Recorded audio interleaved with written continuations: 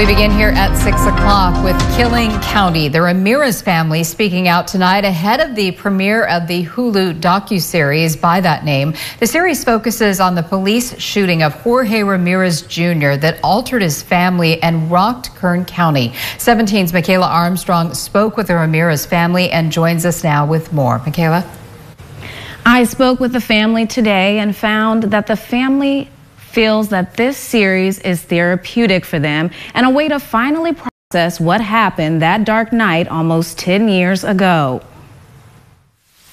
Nearly 10 years since the shooting of Jorge Ramirez Jr. in September of 2013 at the Four Point Sheraton Hotel, his family wonders why it was so hard to get answers. Uh, why did I have to dig? Why did I have to read? Why did I have to show up to people's houses to find out what happened? I shouldn't have.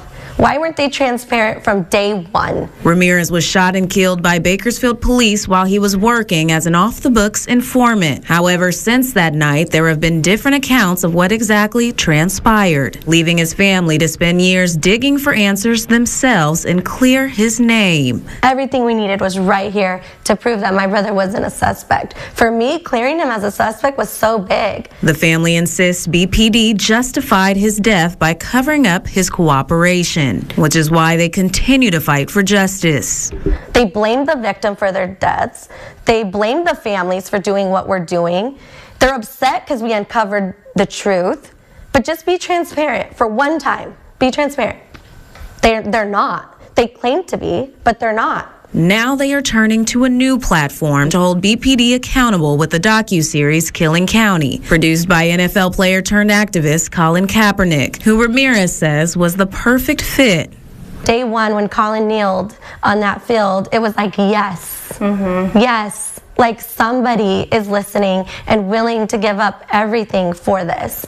And to me, that's somebody I wanted to work with. Now they can look forward to everyone knowing Ramirez's a story and closing a chapter so they can heal. Now we could just let my brother rest in peace and we can all heal permanently from this and just live our lives. And we're done. We did our job.